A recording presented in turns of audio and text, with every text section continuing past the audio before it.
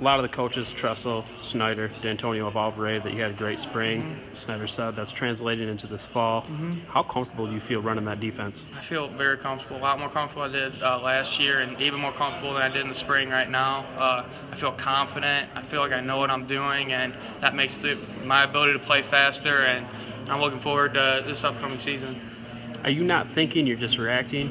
I think I think that has to do with it. I mean, that just comes with reps and practice and over and over again, and just just doing what you need to be and being where you have to be. And you know, and I'm getting more comfortable as the days go by. Max is busy with the NFL, but he still takes time to you look Oh yeah, out for I, you. I'm definitely in contact with Max all the time. He's always there to help me with whatever I need, and same goes for Riley. what advice does he give you?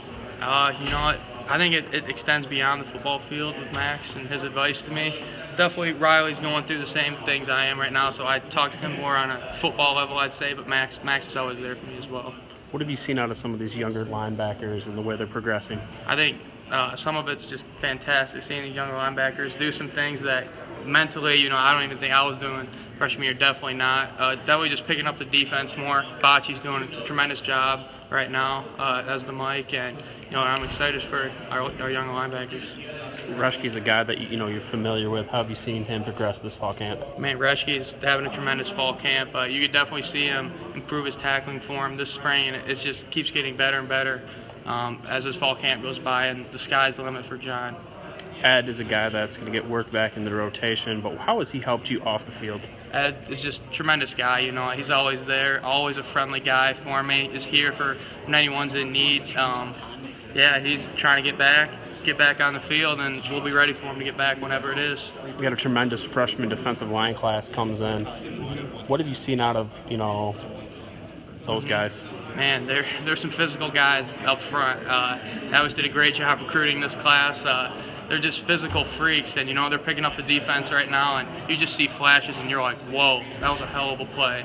You know, it's exciting, and there's definitely gonna be some contributors this year. Is there a particular play that kind of stands out from you from one of Uh, them? I, I think Mike Panasiuk is really, he's an animal. Uh, he's doing real well right now in fall camp, and I'm excited to see him keep learning the defense and continue to play faster. We'll see what happens.